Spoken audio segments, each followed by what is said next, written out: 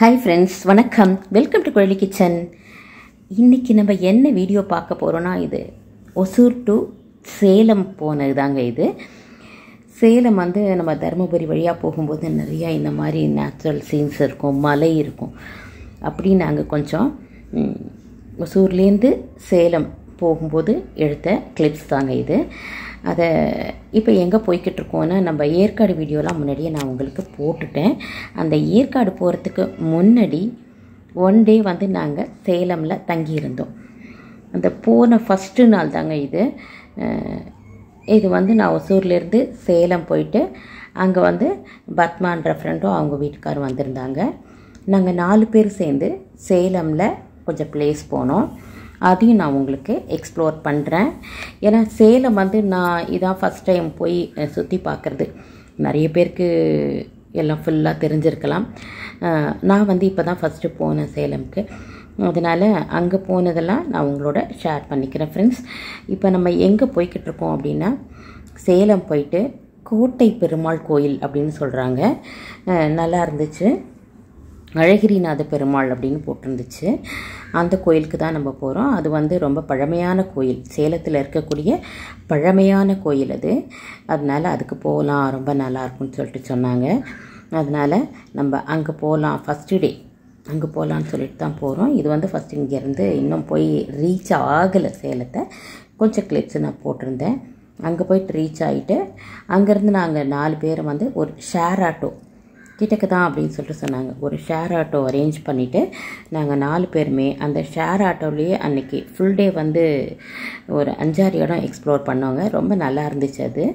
நான் one by ஒன்னாக உங்களுக்கு நான் அது வந்து போடுறேன். எல்லாமே நல்லா தான் இருந்துச்சு.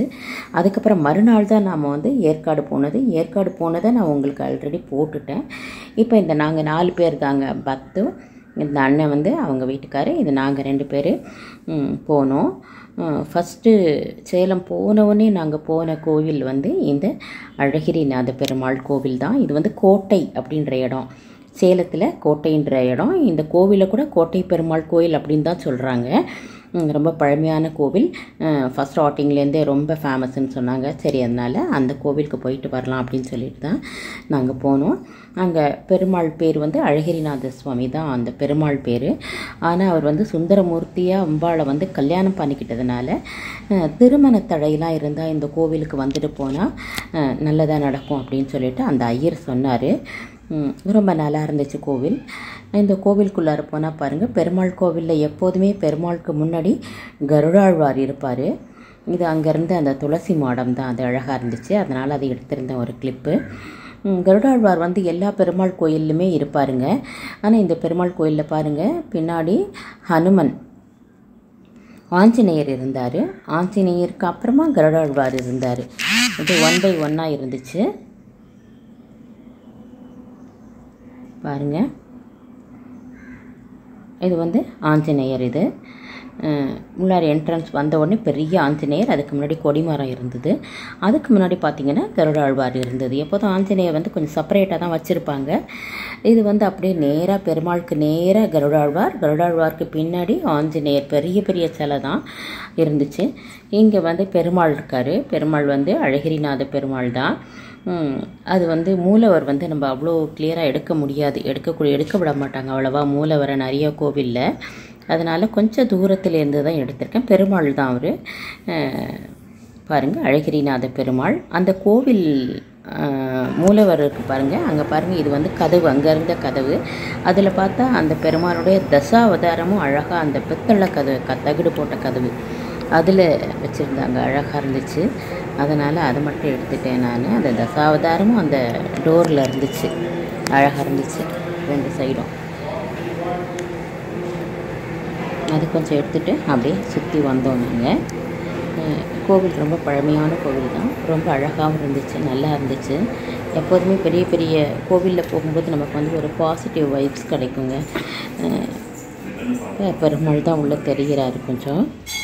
அதுக்கப்புறம் வந்து இங்கே வந்து ஆண்டாள். ஆண்டாள் சந்நிதி இது. ஆண்டாளை கும்பிட்டுட்டு அம்பாள் கும்பிட்டுட்டு இங்கே வந்து